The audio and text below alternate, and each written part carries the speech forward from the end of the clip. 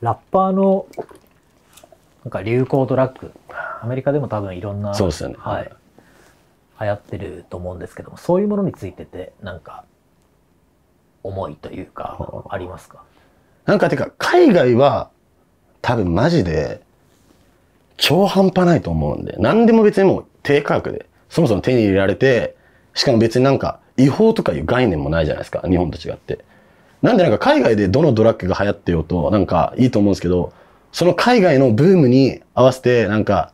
日本で例えば、あっちのリーンとこっちのリーンは違うんですよ。あっちでラッパーが飲んでるリーンってしっかりなんか成分とかもいろいろ違うリーンを飲んでて、でもこっちにあるリーンって多分なんかみんなブロンっていうなんか薬局で買えるやつしかやってなくて、それを例えば